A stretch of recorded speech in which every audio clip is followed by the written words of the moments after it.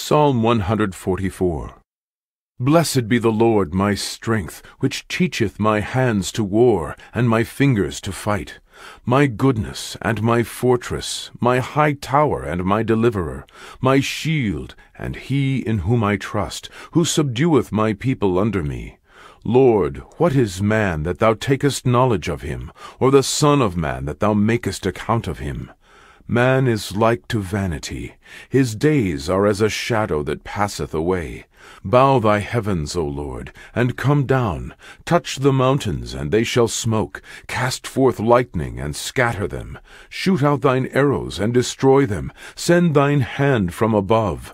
Rid me, and deliver me out of great waters, from the hand of strange children whose mouth speaketh vanity, and their right hand is a right hand of falsehood.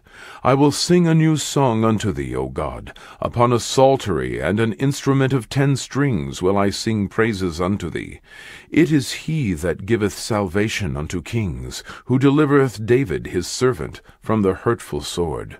Rid me and deliver me from the hand of strange children, whose mouth speaketh vanity, and their right hand is a right hand of falsehood, that our sons may be as plants grown up in their youth, that our daughters may be as cornerstones, polished after the similitude of a palace, that our garners may be full, affording all manner of store, that our sheep may bring forth thousands and ten thousands in our streets, that our oxen may be strong to labor, that there be no breaking in nor going out, that there be no complaining in our streets.